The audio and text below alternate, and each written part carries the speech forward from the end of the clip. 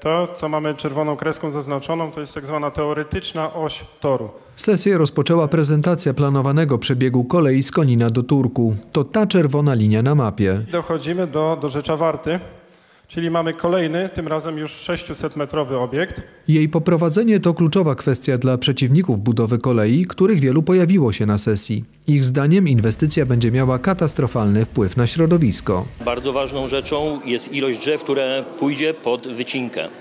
Mm, Szacowane jest około 28 tysięcy drzew, które będą tylko w kolizji w, linii w przebiegu linii kolejowej. Przeciwnicy linii argumentowali na sesji, że jej budowa oznacza także tragedię dla ludzi, wyburzenia domów, przymusowy wykup gruntów, podział pól.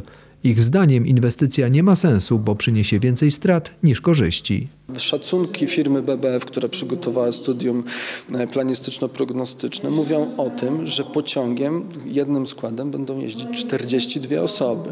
Czy jest to powód na to, żeby e, wydatkować, tak jak to teraz jest szacowane, miliard 131 milionów złotych? No jest to bardzo wątpliwe.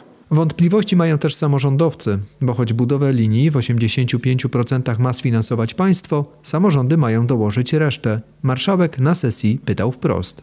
Będzie nas stać na ten 15% udział kosztowy, jaki na siebie wzięły y, samorządy, solidarnie samorząd województwa i samorządy lokalne.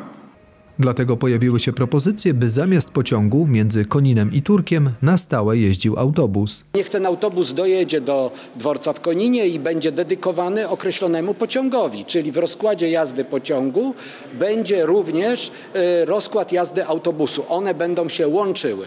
Tak, żeby ludzie nie czekali. I to, I to może być i w kierunku Konina, to może być w kierunku Kalisza, to może być w kierunku łódzkim. Ale na sesji obecni byli też zwolennicy pomysłu budowy linii kolejowej.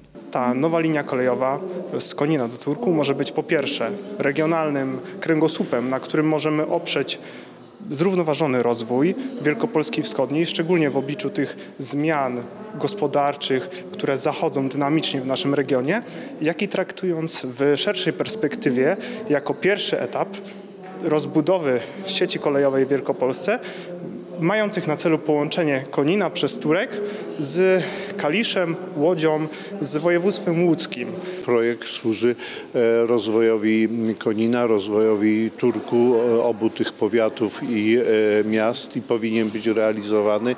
Jest duże oczekiwanie, wręcz zrozumienie co do tego projektu. To jest inwestycja stulecia i oczywiście jestem za tym, aby była zrealizowana. Dyskusja na sesji nie rozwiała wątpliwości wokół budowy linii. Decyzja w tej sprawie i tak w największym zakresie zależy od rządu, polityki transportowej, jaką będzie prowadził i stanu budżetu państwa.